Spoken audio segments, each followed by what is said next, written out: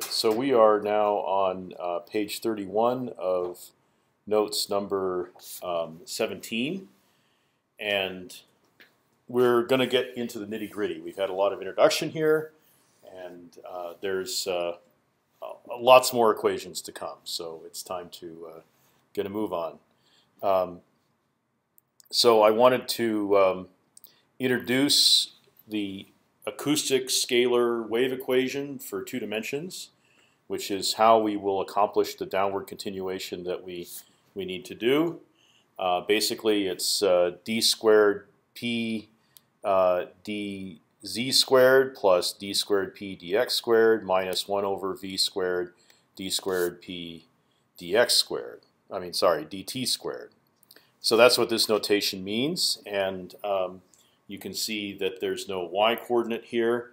Uh, you can see that um, uh, we're probably going to be talking about a constant velocity uh, being most valid with this particular equation. P is the pressure field in space and time in x, y, I'm sorry, x, z, and t. Uh, it's three dimensional, including time, and um, that's uh, that's what we're going to develop now into our uh, downward continuation method. Um, now let's, uh, uh, you know, how are we going to do that? Well, we're going to come back to our old friend, the Fourier transform, and now uh, everything we're doing here is basically going to involve two-dimensional Fourier transforms. And so I want to put out the definitions. Um, and uh, uh, the, you've you've seen these definitions before. Uh, but now, you know, it's going to be explicit exactly what we're doing. And unlike the first half of the class, in this half of the class, you can see that Claerbout has included the uh, scale factor 1 over 2 pi for the continuous transform on both the forward and the uh, the inverse. Okay, and it's 1 over 2 pi because there's a trans there's you know there's two integrals here. You know, if there was just one transform in one direction, then it would be uh, one over the square root of the quantity two pi. Okay, so uh, we get a one over two pi, um, and uh, we'll have to figure out what that scale factor is going to be for the uh, uh, the eventual discrete 2D Fourier transform that we'll that we'll be grappling with.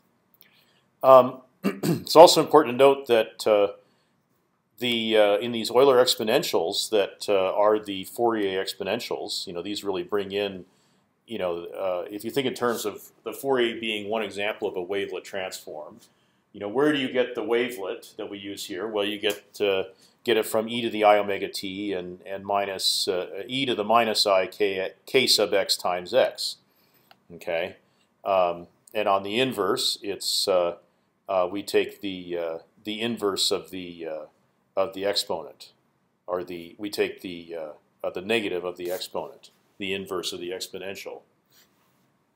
Um, and you'll note that the uh, the spatial um, when we look at the 3D uh, uh, uh, Fourier transform, uh, you'll see that the spatial terms, the spatial exponents, all have the same sign and it's always in opposition to the sign of the time exponent. Okay, and the same on the uh, on the inverse. All right, so there's our our definition.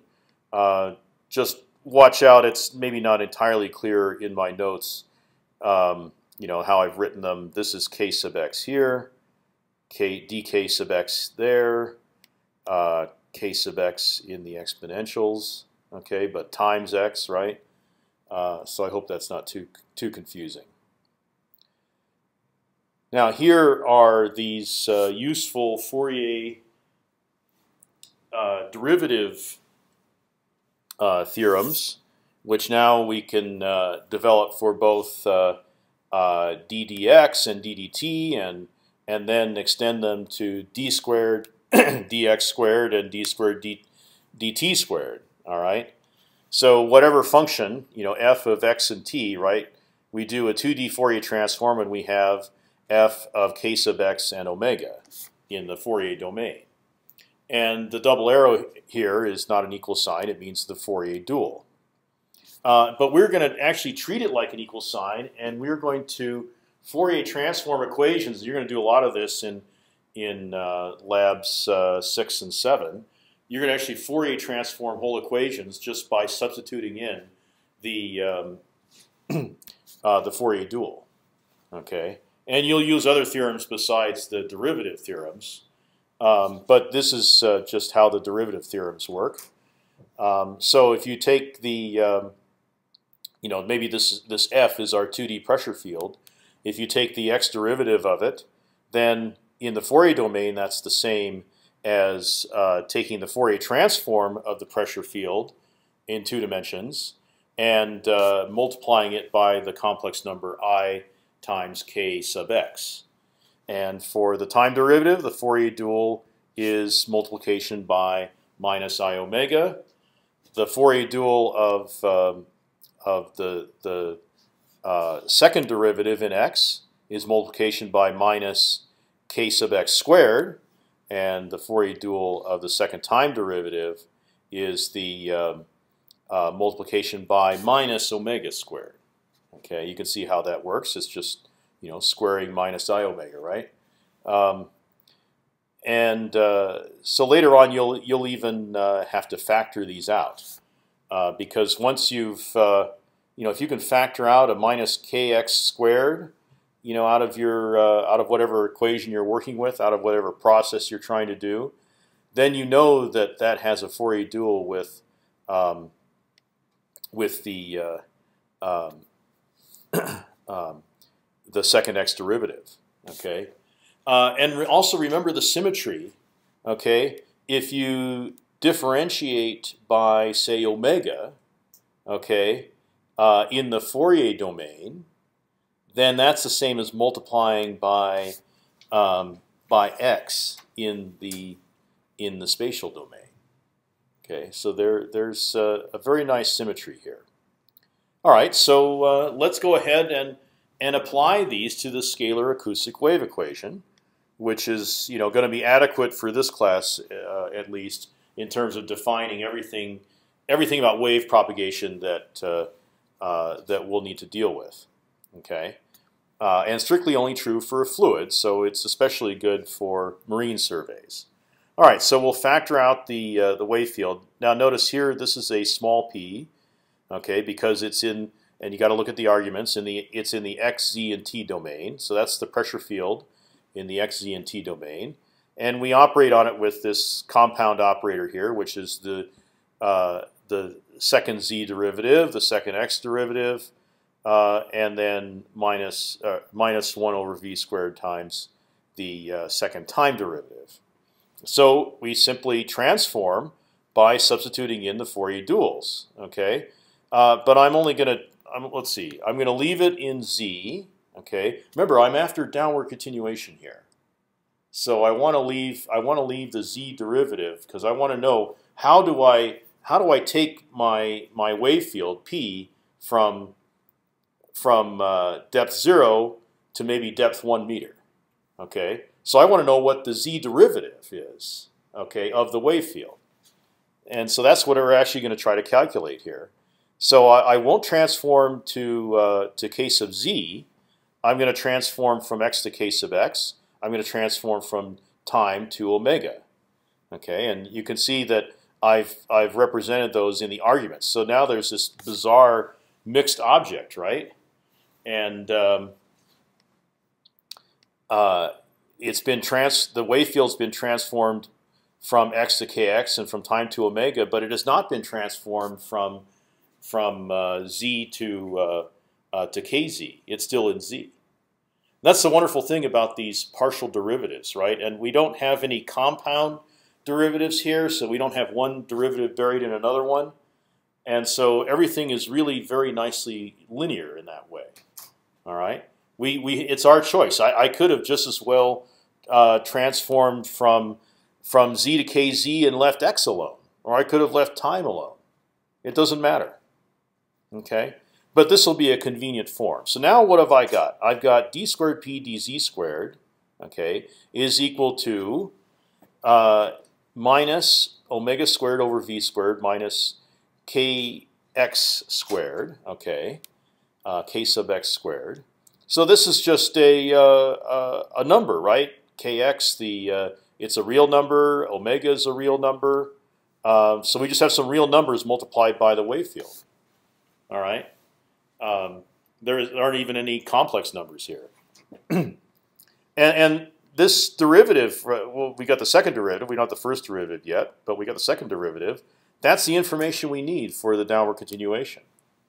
So now we see if we if we can transform our data, you know, at z equals zero to um, uh, to kx and omega, and then we just multiply by these numbers, right? And as we loop through our data set, you know, we know what you know which omega we're on. We know which kx we're on.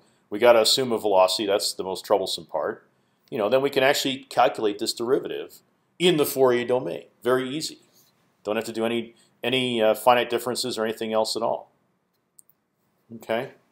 So this this equation here is a is I hope you recognize it as a second order ordinary differential equation, right? We've got a uh, the only derivative in here is on on p, uh, and it's second order in z, right? This is just multiplication. Even though we know that derivatives are buried in here, it's just multiplication by uh, by a number, right? No big deal. So it looks like this. It looks like uh, uh, uh, second derivative of p, d, p double prime, plus some some numerical constant a a naught, right? So a naught is going to absorb all that times uh, uh, times the uh, uh, the the the wave field undifferentiated is equal to zero.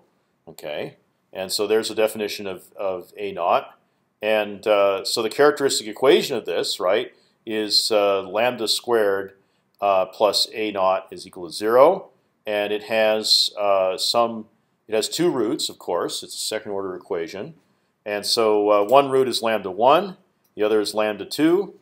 Uh, and it, they're basically plus or minus, they, they are imaginary as you can see, um, plus or minus um, uh, i times the square root of a naught. Okay, so then we have the solution, right? This this we can create this solution which will then solve the the second order ordinary differential equation we have some initial pressure field P0, okay, and uh, we multiply it by the uh, the solution, you know, we, and we use a uh, an imaginary exponential, right? So we we can solve it with one of these Fourier exponentials, right? This involves sines and cosines, plus or minus i times the square root of a naught times z, okay, and uh, uh, and that's going to give us the uh, the wave field. Okay, so now let me let me you know, it's it's an initial value problem in Z, right? And um, so writing out the whole solution with all the variables that that we just developed, you know, for our wave field, right? Our initial our initial um, uh, our initial uh, data uh, are the wave field at z equals zero, okay, and we have um, uh, we've been we Fourier transformed it from x and time, right? So our our our two-dimensional zero offset data set is in x and t, right? And uh, and we Fourier transform it in two dimensions to kx and omega. So that's our initial data. We multiply it by uh, e to the plus or minus i times z. Okay, z is the depth we want, right? We're going to get a 2D wave field at whatever constant depth z that we put into there. All right, so that's going to be downward continued data. How about that? That's what we want, and um, and then z is multiplied by this uh, square root of the quantity omega squared over v squared minus kx squared. Okay, so all we have to do now, right, is we take this p, this downward continued data. It's still in the kx and omega domain, and we um, uh, and all we have to do is uh, and and and we get that by taking the Fourier transformed 2D Fourier transformed uh, zero offset data. We multiply it by this this uh, bizarre um, this bizarre uh, uh, exponential here. It's still an imaginary exponential, and then we just do a 2D inverse Fourier transform from um, from kx and omega back to x and t right? It's all done at a constant level z, right? this you know this inverse Fourier this 2D inverse Fourier transform will accomplish you know will get us one z level. Okay. You'll downward continue our whole data to one z level. All right. And and you know these other exponentials out here, those are just the uh, the inverse Fourier transform exponentials. You know from from kx to x and from omega to t. That's all they are. And we're integrating over all kx and all all omega. That's just the inverse Fourier transform wrapped around it there. So what is this bizarre thing uh, that we've got as a new Euler imaginary ex exponent? Okay, uh, this this has a very uh, important name. It's called the dispersion relation, um, and it's uh, it's only related conceptually to um, the dispersion curves that you may have heard about for surface waves. All right. Uh, but it is the same concept. It, it, it defines the path that a wave takes through uh, velocity and frequency space, or, or here, as we're expressing it, through um, spatial frequency and time frequency. Okay, so it's it's it's saying that the uh, uh, that this this phenomena we're observing, some kind of wave, has a particular path through that kx and omega space. So we can that's that's uh, conceptually exactly the same thing as um, uh, as surface wave dispersion. Okay, so this is a, a dispersion relation. All right, and uh, you know it's going to help us answer the question: which of the conjugate roots do we use in the solution? Right. I mean, I've got downward continued data here. But I got to know: do I use the plus or the minus uh, exponent on the um, on this? I actually, I can't use both. Okay, got to I got to pick one. Okay, and and it's going to turn out the the choice of plus or minus is going to affect how the wave field will propagate, and and thus. Uh, it depends on what our model for imaging is. You know, what, how did our data come about, and how are we projecting our data into a uh, into a model, into an image. So, uh, all right, let's take this partially transformed wave equation. Right, it's uh, uh, it's still in z, right? We still got a z derivative here, and it's the wave field in kx and z in omega. And let's finish the job. Let's let's go ahead and transform it over z. Same thing. We got minus kx squared minus I'm sorry minus kz squared minus kx squared plus omega squared over v squared times the wave field, now 3D Fourier transformed in kx, kz, and omega. Okay. Now, now that equals zero, right? So we can divide out p. Let's let's get rid of the wave field. Okay, the wave field can be anything, right? So let's divide out p and uh, and look at what we got left. What we got left is the is the is called the dispersion relation. All right well worth uh, memorizing. Okay, kx squared plus kz squared is equal to omega squared over v squared.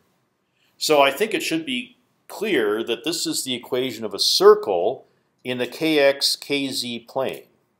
Okay. Now we we played around a lot earlier this semester with unit circles in the complex z plane, right? Um, and this is uh, this is not that, but it's another circle, right? Uh, uh this is why um, practically everything I do, you know, essentially boils down to trigonometry. Because I keep having, I keep finding these circles in everything I'm doing. Okay, these circular relations. I mean, now we're we're in this bizarre Fourier transform domain, kx and kz. Uh, we're not in the z plane, and I'm still, you know, everything's based on a circle. All right, and um, the circle has uh, has a radius omega over v. Okay, and and so um, you know if you take if you take a uh, a wave field and you have it you know you have it all all uh, uh, downward continued okay so you know the, how the wave field varies in z you know how the wave field varies in x right um, if you take that wave field and you transform it from x and z to kx and uh, and kz, then it's actually going to land on this circle. Okay, in this plane. You know, the the plane could be. Uh, I mean, of course, you'll transform noise. There will be artifacts of the Fourier transform. All that. You know, there's going to be amplitude all through this plane. Once you, you know, especially if you Fourier transform real data. You know, there's all kinds of things that don't obey this uh, acoustic wave equation, right? But uh, uh, what does obey the acoustic wave equation, that energy is going to land on this circle, and that circle is defined, you know, right here. Okay. So uh, uh, you know any any acoustic constant velocity wave field is going to satisfy that dispersion relation, and that's how you know here in the Fourier domain we can distinguish a wave field from some other function. You know maybe surface waves they they won't they won't land on the circle. Uh, S waves will make their own circles. Uh, variations in velocity will distort the circle. Okay, and smear it out at least. Um, uh, but the circle does uh, does one more thing for us. Okay, if uh, if we have right radius omega over v, if we uh, uh, suppose we we had a full data set, we had all you know we had it recorded at all levels. Okay, we had it recorded at all x, we had it recorded at all time, and we just transform that data set. It's a 3D data set, right? And we just transform it to a 3D Fourier domain data set. We we have it at uh, at a you know for all omega, all kx, and all kz. All right. Then we could observe where the where the circles are falling, and we could then calculate. We could estimate the velocity. All right. Uh, now um, we're assuming that step's done, and we know what the velocity is. Okay. I mean, really, I don't talk a lot more about determining velocity. I talk a lot about determining velocity in in um, uh, in in 692, okay, in applied geophysics, you know how we practically, as a practical matter, we measure velocity. I talk a lot about how we, you know, how we can tomographically determine velocity in um, in 757. All right, um, but here, you know, in this class, we're we're going to accept the velocity we're given. You know, we we've we've done some work. We have a velocity, and we're going to we're going to run with it. All right. So we know what the velocity is, okay? And let's say that we have our, our zero offset data in, in t and x, okay, time and, and x. So we transform it to, uh, to kx and omega, okay? Uh, then, because this obeys this circular relationship, all right, because it holds the dispersion curve, we can find out where on the kz axis this intersects, and we can get kz, right? We can get the shape of the circle, you know, gives us kz. So you know we um, we have uh, since v is uh, the velocity is a given, we have omega, we have kx, we have kz. If we have any two, we can get the third. Okay, and our data is going to give us kx and omega, and we want to get kz for downward continuation. So we have two, we get the third. That's the power of the dispersion uh, relation. Okay. Uh, likewise, if for some reason, like let's say we're doing a, a uh, we've done a vertical seismic profile, so we would have kz, we would have omega, but we don't have kx. But we have two, we can get the third. We can get kx. We can get kx. Okay.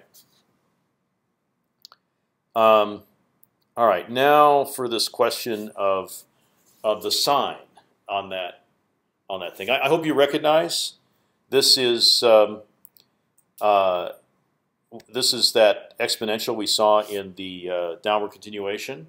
Okay, and I think you can see that that is the solution of the um, of the dispersion relation for kz right? You you take dispersion relation, you solve it for kz, and you get this um, this radical here, which is in the exponent. So that's really z times kz, right? So there's z times there's there's kz again, okay, and we have plus or minus uh, e to the uh, power of plus or minus i times z times kz, which is this square root of the quantity omega squared over v squared minus kx squared. Okay. Now, the sign we choose there is going to is going to affect whether our wave field propagates up or down. All right. So let's take the positive kz. All right, and um, so that means we're taking the upper half circle. Okay, so uh, you know we don't, we're not allowing a negative kz. Okay, so we're using uh, v and omega and kx. We're calculating a kz, and it's going to be we're going to select the positive one. So we only got the upper half circle. What this means in the physical domain is that uh, you know as the wave is propagating, z is increasing as time is increasing. Okay, that's for an exploding, uh, uh, a, an expanding wave. Okay, uh, if we have an imploding wave, a, a collapsing wave, right? We would have z decreasing as time increases. Okay, so that's you know that's what's going to happen with positive kz. All right. Uh, now, what if we have negative kz? Okay, kz is negative, right? That means we're using the the uh, the lower half, uh, the negative part of the semi of the circle, the negative semicircle. That's going to mean that z increases as time decreases, and that's but that's for an imploding wave. For an exploding wave, that means that z is decreasing as time increase is increasing. Okay, for negative kz. Okay. Now let's consider two point sources. All right, here's our seismic array on the ground along the x-axis. Okay, and um, uh, each of these sources is the source of an expanding, exploding wave, right? So uh, we put it at positive z, okay, and we let z decrease as time increases. That means the wave is propagating up, okay, from from a point at depth to our array. Uh, the other way, okay, if uh, if the wave is propagating down, if z is increasing as time increases, okay, then our source has to be up in the air, above our seismic array, okay, and propagating down. So our data at z equals zero, you know, you know, since velocity is constant everywhere, right? I don't have a free surface interface. You know, I'm not allowed that. I, I've got constant velocity. Okay, so so since velocity is constant, the data are identical for both cases, and our choice of sign then is going to be a choice of where we think the sources are. Okay. Well, I, I hope it's obvious. Since we're using the exploding reflector model, the the reflectors are the sources, and the sources are below the receivers at z greater than zero. You know, we're, we do not have reflectors up in the air above the receivers. Okay. Um, I've actually put sources up in the air, but uh, uh, you know, aside from making a huge noise, uh, you know, this theory won't cover that. um, so, so since our sources are below the receivers, we're going to pick the left-hand side, and that means we want upgoing waves with kz having a minus sign. So now we know which one to pick. Okay, here's the downward continuation operator that we can actually use. All right, and I'm going to teach you practically how to use it. Um, we take the surface data at z equals zero. We pick a z level that we want to downward continue it to, and we multiply by e to the now minus i times z um, times the times kz, which is the square root of the quantity omega squared over v squared minus kx squared. Okay, there's a dispersion relation right there. And then we take the the p of kx and z and at this constant z and omega, and we do a 2D inverse Fourier transform, and that gives us the 2D data field uh, at all x and all t, but at that one level z. So there's, you know. there's not much here to tell you that that that z is a constant in this, right? But that's uh, that's the case. Notice there's no integration over z here, so uh, it can be a constant. So the assumptions in this downward continuation are um, zero offset data, exploding reflectors. We can manipulate this. I mean, right now we've we've used uh, you know, constant velocity, you know, only one v everywhere. We will be able to manipulate it to uh, have an acceptable solution for velocity varying as a as a function of depth only. Okay, so you know we could put a, a realistic well log uh, velocity into this, but no lateral variation. And also it's acoustic. Okay, there's only one velocity. There's no there's no shear waves. Although you could, uh, you know, the uh, the acoustic wave equation is exactly the same as the scalar, uh, the 2D scalar wave equation for SH waves. So you could actually use this to handle 2D uh, SH wave data. Okay, if because uh, it, it, it's they come from the same wave equation, so you could migrate SH wave data. And actually, um, some of my colleagues, particularly in Indiana, the Indiana Geological Survey, um, they've done they've done some amazing things with uh, SH wave surveys and and migration. You know, they can actually get. Uh, turns out that in the in the soil, um, uh, shear velocity varies much less laterally than p velocity. So you can you can you, your SH wave surveys are much higher quality and much easier to analyze. Uh, quite a quite a discovery. I wouldn't have suspected, but it, but now it makes sense. It's because um, in the soil, the, the big thing that varies in most places is the uh, soil moisture, and and the uh, you know where the water table uh, uh where you go into the water table, you go into full saturation. You know the p velocity can triple, qu quadruple.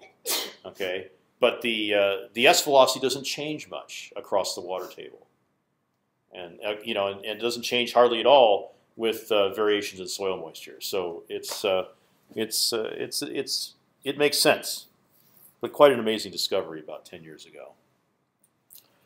Okay, so um, um, let's uh, let's talk about downward continuation as a um, as a process, as a um, and, and, you know tied in with the concepts we had in the first part of the class as a filter.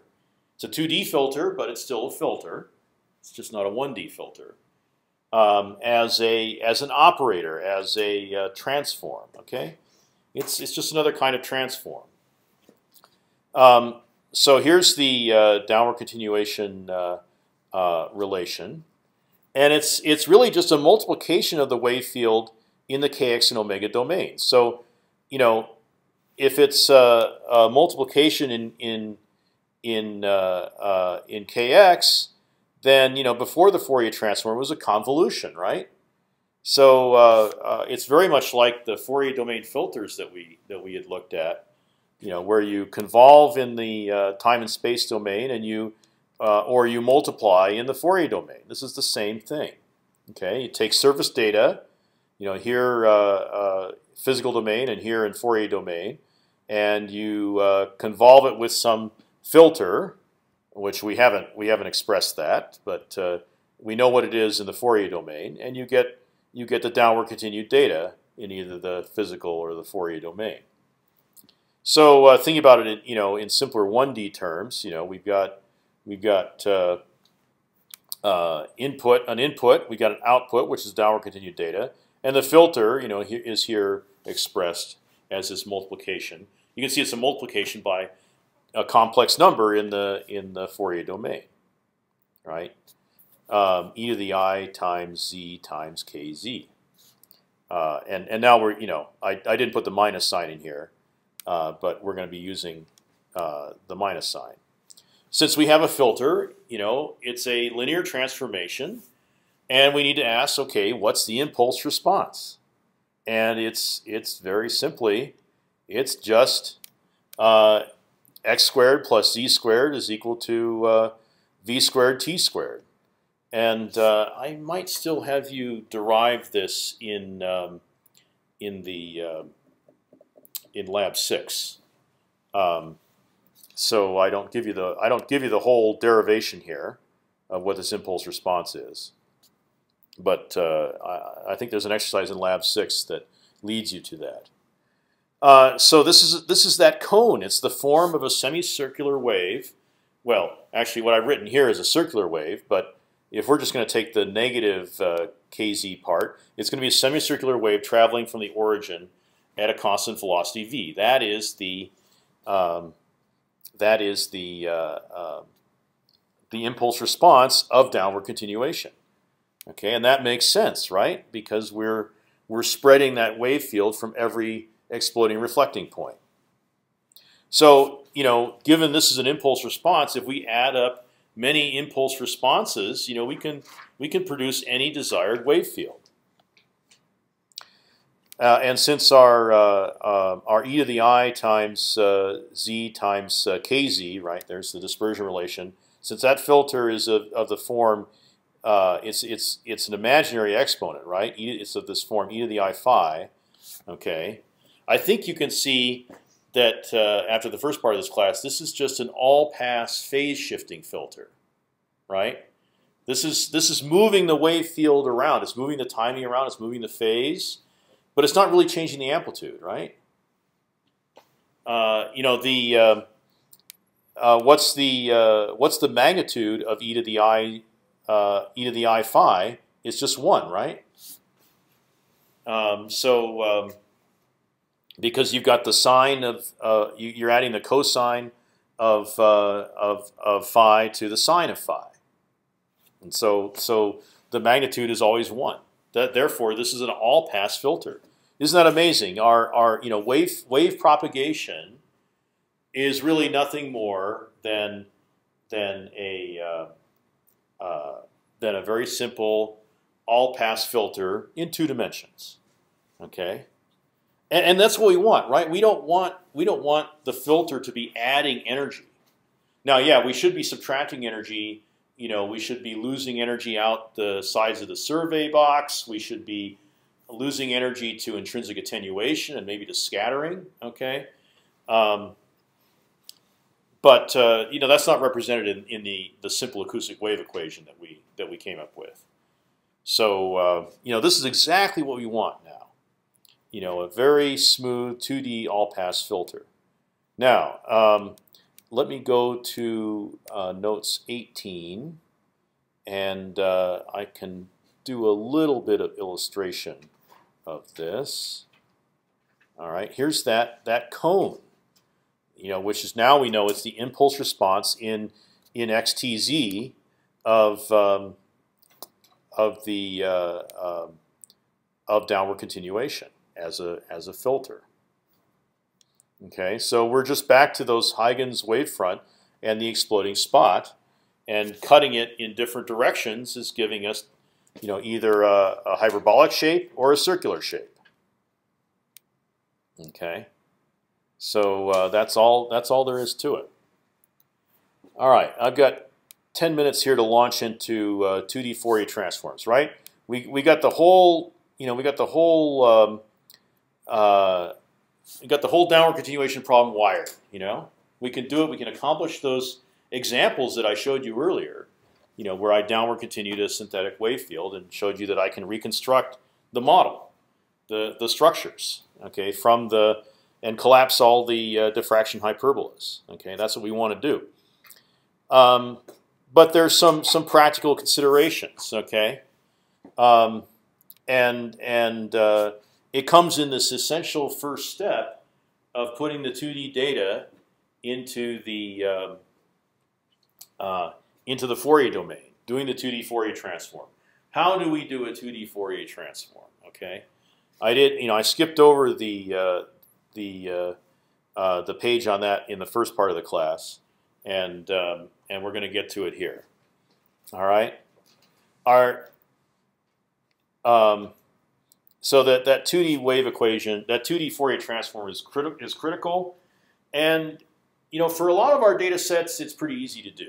Okay, once you know, I'll show you, I'll show you how to do it right. Okay, and and you could set up a very simple code that would that would do it right, and it would work for most uh, most sections. But when you get to 3D data, or even you get to 2D data as extensive as uh, Amy Eisses's uh, chirp surveys or Gretchen's chirp surveys, okay, from Lake Tahoe, and Eisses's were from Pyramid Lake. Okay, those have hundreds of thousands of traces. and each trace is, you know, has uh, uh, maybe 10,000 data points. Okay, so we're going to run into some problems with data sizes. All right, and uh, so I, I need to explain to you not only how to do a 2D Fourier transform correctly, but also uh, how to do it fast in the case of, of you know how, how to not have it bogged down. Okay, and that's uh, so the, essential uh, part of that, the essential insight, uh, no, the solution to the essential insight is essentially is basically a card trick, and that card trick is something that I will do uh, for you uh, the next time we meet, which is going to be Tuesday the 13th, I think it is. Um, so hopefully I'll remember to bring um, to bring a deck of cards. Um, it's you know it's a it's a very nicely Nevada solution, right?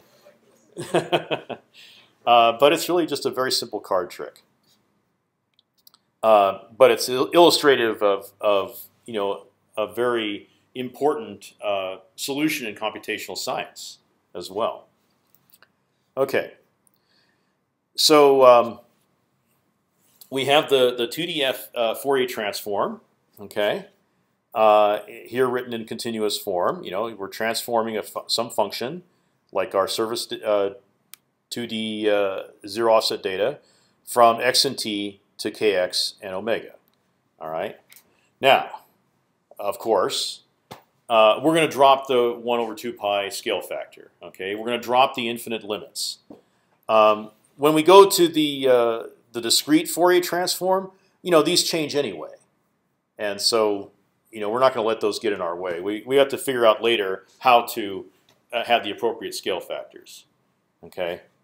Uh, the other thing here is I can't just assign small letters to functions in the physical domain and capitals to their Fourier duals in the in the Fourier domain. Okay, because we've got you know all these mixed objects we've looked at like capital P of omega kx but z.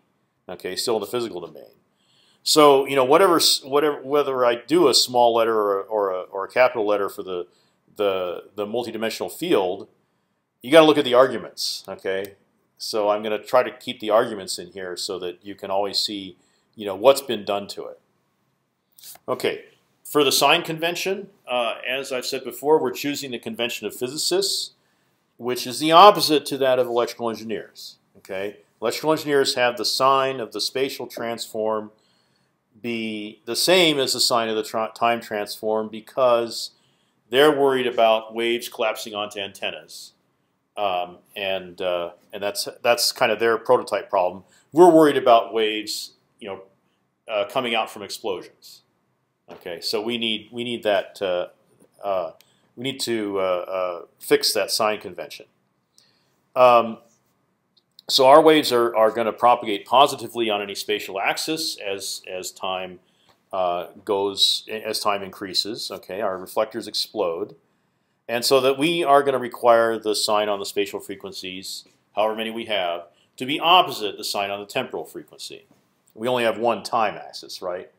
Uh, at least I hope. Even even superstring theory, right? It, it has 16 or 23 spatial dimensions, but only one time dimension. So at least we we have that sim simplicity. Okay.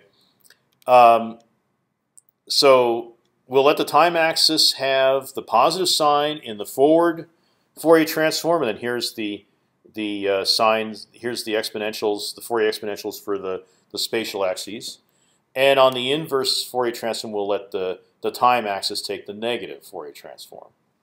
Of course, electrical engineers write Fourier transform software, and they design processors that do Fourier transforms. So you know, we may have to take the complex conjugate of the of the Fourier transform data. Okay. Now, in most in most software the electrical engineers write, they allow that. You know, you you tell them whether whether you want this done with a positive or negative sign. Okay, but sometimes not, um, and so we got to watch it. Okay, the factors under the integrals are all separable. Okay, so here's our our 2D Fourier transform. Note we can do the Fourier transform from time to omega, from time to frequency first. We can do that whole Fourier transform, we can we can uh, write it out to a uh, uh, to a CD and and mail it to our friend in uh, uh, in, in Dubai, and and he can he can do the transform from x to kx, you know, the next month. Okay, totally separable. All right, and and you could see that here in the in the in the just in the algebra. Okay, so what's in the square brackets here? Okay, is the Fourier, the partially Fourier transform data. Uh, it's still in x, but it's it's been transformed from in one dimension only from time to omega. Okay, and then we need to finish the job, and also we can we can do it the other way around. Okay, we can transform it from x to kx. You know, put it put it in a drawer, come back uh, next year, and and finish transforming it uh, from uh, time to omega. Okay, it doesn't matter which way we do; we'll get this exactly algebraically the same result. It's not an approximation. Okay. Um, let's see. Now, uh, note that uh, uh, each directional transform, you know, from from t to omega or from kx to x, from x to kx, is just a one-dimensional Fourier transform in different directions over the 2D function.